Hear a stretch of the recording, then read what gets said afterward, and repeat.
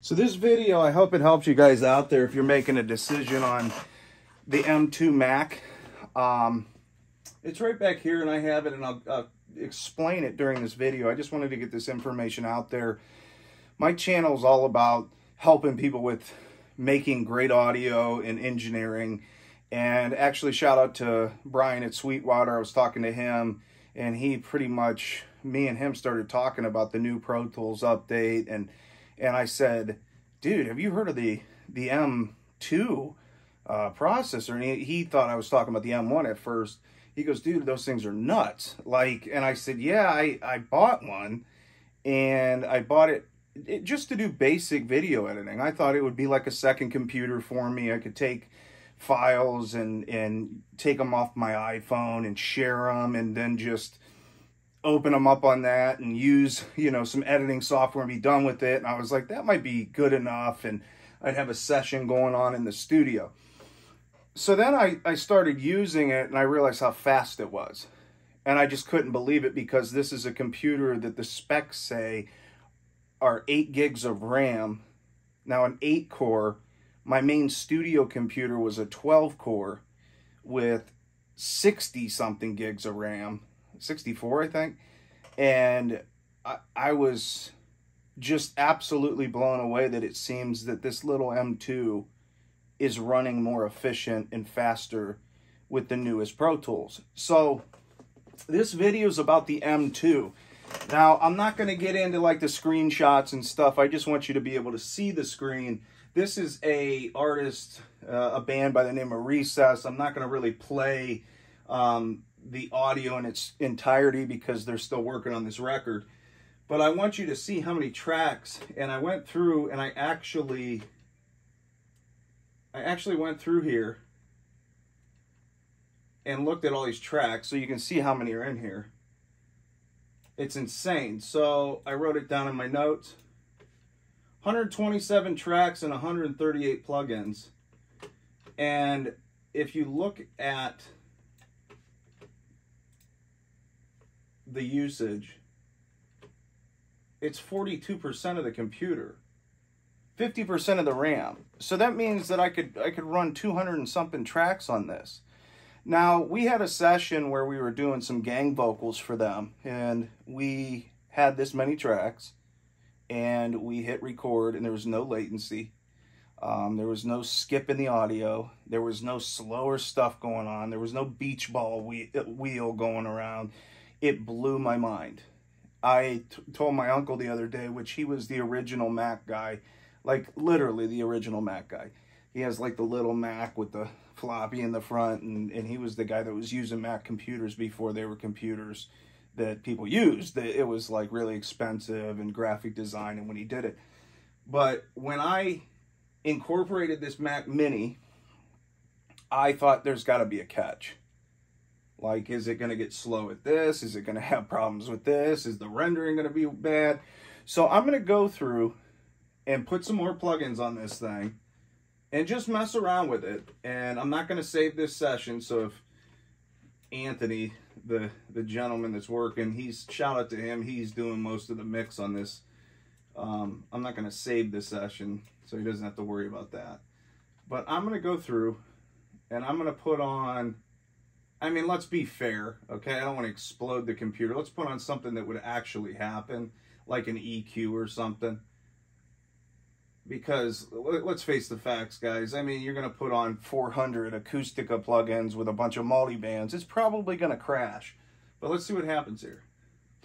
So I'm going to put these across. Holy crap.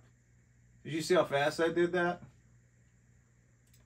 I mean, it just put an EQ on every single track in the session like that, dude. Blown away with this M2. Just blown away. If you're even out there considering, stop my video right now and go purchase it for the price it's at. Um, I could not believe this. Let's see what the usage is.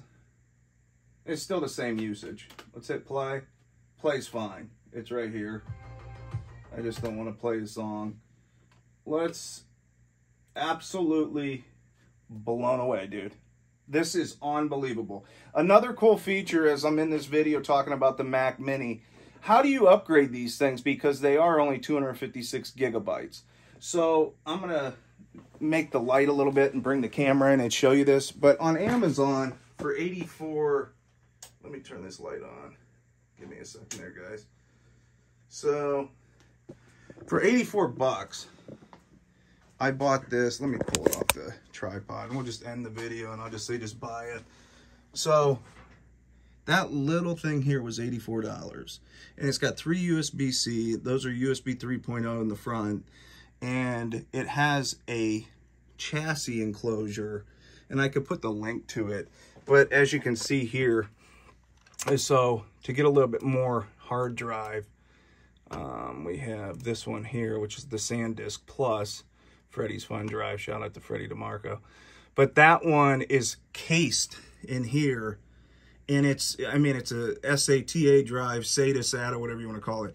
It's extremely fast solid state drive. So I have a Mac Mini M2 with 8 gigs of RAM, 256 gigabyte hard drive. And let's go around here. Sorry if it's a little dirty there, guys. But if you look here, we have a USB 3.0. It's running all those. So we have, let me see if I can get in there. I know it's a little, but we have two. So one of the USB-Cs is feeding this below it. The other USB-C is feeding this. So with all that going on, you have my interfaces, which are two mastering converters, and they're running fine. And then you have an Ethernet port running another cool feature that I'll talk about before we get off the video. So you get a lot of bonus on this video. So with all that being said, I also have, and I haven't checked it though, but we'll do another video on this because this is about getting a system that works. You know what I mean? So let's get this thing to zoom back in. Cool. So last thing, and I know this is sort of, I'm just doing this like off the hip, I told you.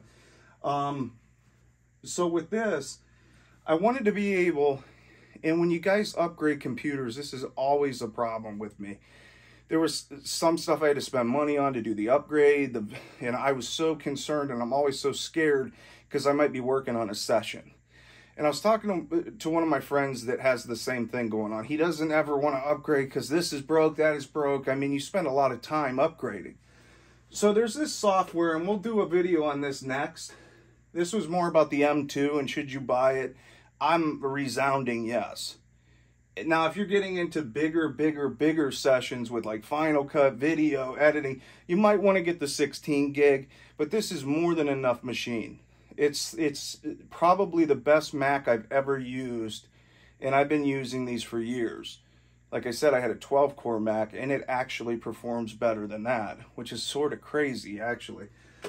So, I have this program, it's called um, AudioGridder. And if you haven't seen this, look it up. So we're utilizing my old Mac with all the plugins and everything.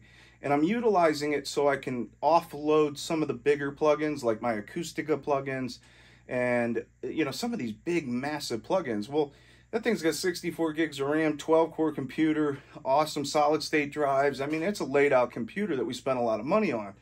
So I can go into this session here. I can click on AudioGridder now watch it explode the thing because I'm still getting it to work.